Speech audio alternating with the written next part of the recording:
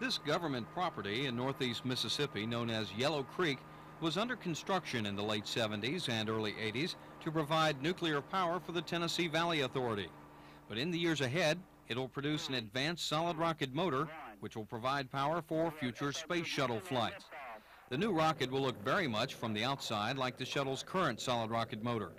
But the really important changes will be internal and have become possible as a result of great technological progress made since the current solid rocket motor was designed in the mid-70s and modified in the mid-80s.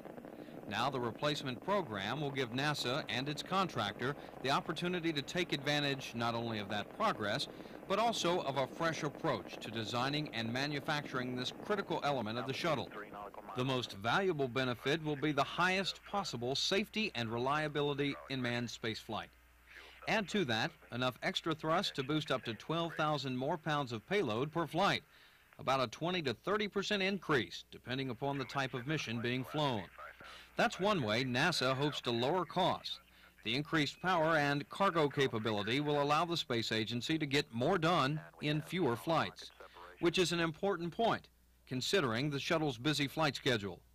Lowell Zoller is in charge of this effort at NASA's Marshall Space Flight Center improvements that can be made in process control and production will enhance the overall reliability of the system and provide us with additional governmental capabilities for the future that will be very valuable to the civilian space program.